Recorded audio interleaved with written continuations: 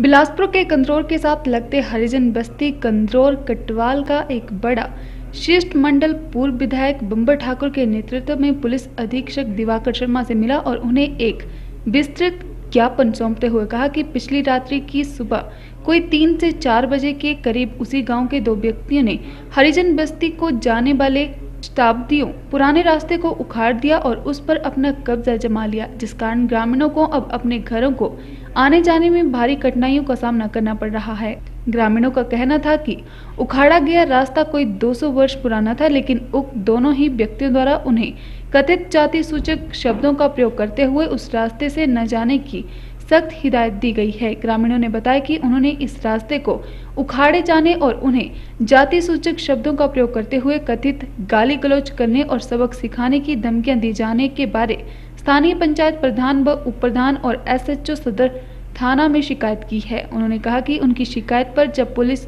मौके पर आई तब भी वे रास्ता उखाड़ रहे थे। इससे पूर्व ग्रामीणों द्वारा पूर्व विधायक बम्बर ठाकुर को शिकायत की। प्रतिलिपि भेंट करते हुए उनसे आग्रह किया कि कथित आरोपी भाजपा का एक बड़ा नेता है, जिस कारण प्रशासन उन पर कोई भी कार्रवाई करने से कतरा रहा है और यदि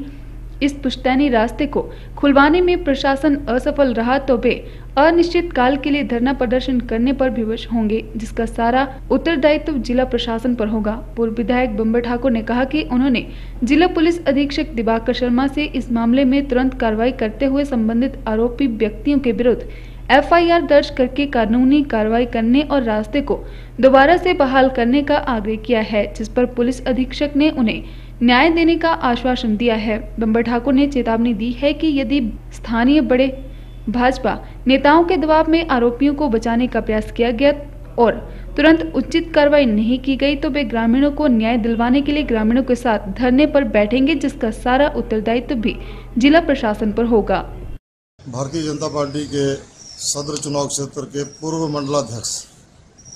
जिंदू राम ने हरिजन आबादी का जो हमारा गाँव है कटवाड़ बस्ती कंदरौर में, उनके 200 साल पुराने बने हुए रास्ते को रातों रात गैंतियों से उखाड़ दिया और इन्होंने अभी पुलिस अधीक्षक महोदय को एक दरख्वास्त दी है कि हमारे रास्ते को 24 घंटे के अंदर अंदर बनवाया जाए। और ये डीसी महोदय को भी लिखी है। ये ज्ञापन इन्होंने मुझे भी दिया है कि हमारे रास्ते को पुनः चौबीस घंटे के अंदर बनवाया जाए और यदि ये रास्ते को नहीं बनाते हैं तो मैं जिला प्रशासन से ये कहना चाहूँगा कि चौबीस घंटे के अंदर यदि वो उखाड़े हुए रास्ते को नहीं बनाता है तो हम कंदरौर चौक पे भी जाम करेंगे, मेन रोड को भी बंद करेंगे और डीसी के दफ्तर के बाहर भी हम धरना देने पे मजबूर होंगे। क्योंकि इस देश के अंदर सब लोग बराबर है। और आज भी यदि इस प्रजातंत्र के अंदर, इस देश के अंदर लोगों को जाति के नाम से पुकारा जाए तो इससे बड़ा दुर्भाग्य कोई नहीं है। इसलिए इसकी पूरी इंक्वायरी हो और जिसने ये रास्ता उखाड़ा, उसको जेल की सलाखों में बंद करो, उसकी जेब से पैसा खर्च करा के उस रास्ते को बनाओ और जो आपत्तिजनक शब्द उसने कहे हैं, उसकी इंक्वायरी करके इस व्यक्ति के खिलाफ कार्रवाई की जाए, जिसने पुलिस के सामने भी जो है इनको जाति शब्दों से पुकारा और गाली गलौज की और मारपीट करने की कोशिश करी है